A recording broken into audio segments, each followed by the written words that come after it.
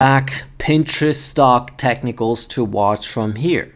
So if you are new to the channel, thank you. Uh, and I really appreciate all of you guys who have subscribed. But this channel is not about like um, all the good things, right? So I will tell you everything. Ugly truth, if I am bearish, if I have a position, if I don't have a position, I'll tell everything. And I'm very straightforward. And so if you like it, well, that's great because at the end of the day, I'm a trader, all right? I'm not a YouTuber. I'm not a full time YouTuber, even though I cover these stocks every day. I do it, first of all, for myself because I am up to date.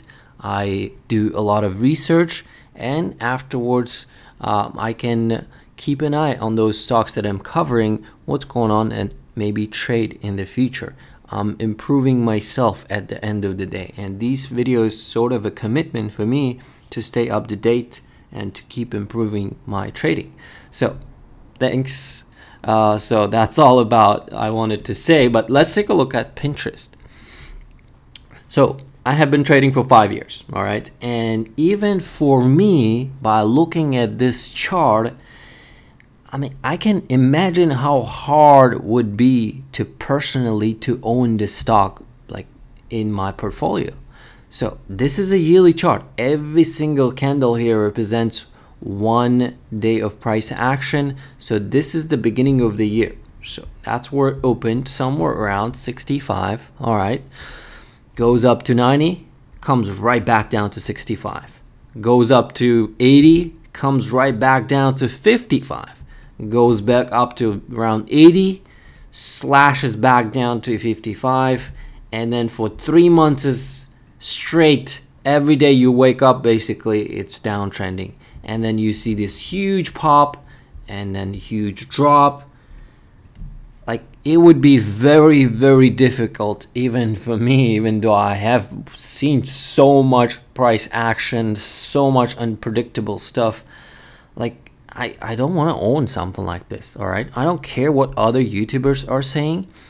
I have used this platform maybe uh, earlier than like 90% of you guys who are watching because I have a car YouTube channel where uh, I had all I had to reserve all the accounts, social media accounts, and I have used Pinterest probably like the moment they came out, pretty much. And I know this business as a user and I know this stock since they went public. So that's that. Well, now let's talk about technicals, what I'm watching here. So imagine the, so once we figured out, imagine the uh, people, what people are feeling who have traded this stock or who may be holding this stock at all those levels. From all time highs at this point, stock is down exactly 50%. 50%. Crazy. So, and now, uh, well, for the past month or so, just like with Snapchat's chart, I was watching this range of uh, 49 and 44. So, if this stock slips below 44, it's going much lower, all right? And I don't care how you guys comment, react to that. Uh, you can call me delusional, whatever, but look at the chart. So if that level slips, it's going right back down to these 38, 35 levels. That's the zone I'm watching as a support. All right. And we can take a look at it on a weekly chart. Even if you look at it on a weekly chart, I mean, it's hard to deal with this. Look at this monthly chart. Basically, for the year, how many months is so we have only December left.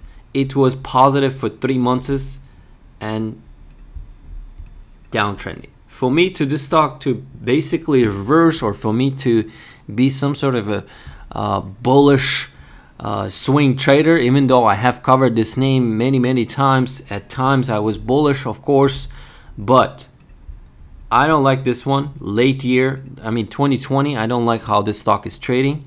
And um, for me to basically, for this stock to break out, I'm watching this downtrend. So it needs to get outside of this trend for me to even consider the stock as a bullish trade. All right. So what else I can show here? Well, maybe I can show if you are someone who trades, swing trades, maybe volume, um, basically volume profile. All right. Um, and if you look at it as well, well, we don't have much of a support here if this stock slips below these 40, 44, 43, 50 levels. So most of the volume occurred here at 70s and that's crazy that so many people have average price over 70 for the stock. Uh, company valuation, I think it's about 30 billion dollars right now. Uh, what about the MACD? Uh, what about the moving averages? MACD still below zero line. There's no indication that it's about to uptrend here. Um, if you look at the moving averages as well, all of the moving averages are downtrending. 200 day red line right here. Purple is 100 day. Uh, yellow line is a 50 day, and this blue line is a 20 day. So for me, the rule of thumb to go long any stock doesn't matter what company does doesn't matter what their fundamentals are if the moving average is uptrending that's when i consider to buy a dip when stock is downtrending and it and its moving averages are downtrending that's not a dip all right for me personally buy the dip buy the dip i i just like i'm not gonna highlight anybody but i i hate that there's so many people out there that just like they they they have all in their head is just buy the dip, buy the dip. I mean, come on, like look look at the chart. What do you like about this one? I understand if it if chart was looking like Microsoft or look at look at this chart. Like you want clean chart. You don't have to be good at fundamentals. Look at the chart, it will tell you the story. Look at AMD, look at Nvidia, Apple, all those good stocks that are doing very, very well, well, their fundamentals doing well. All right, so you don't have to be uh, someone who is good with um, accounting and all the all the profitability, revenue calculating, all that stuff. Uh, no, you can just look at the chart and just tell the story, and it's not difficult.